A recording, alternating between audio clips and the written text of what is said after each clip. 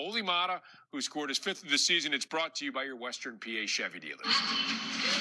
Well, guys, I think it's fair to say that it's almost like poetry in motion. You win a face-off, pull the trigger, score a goal. I know it takes a lot more than that. Uh, winning the face-off gives you maybe a split-second decision.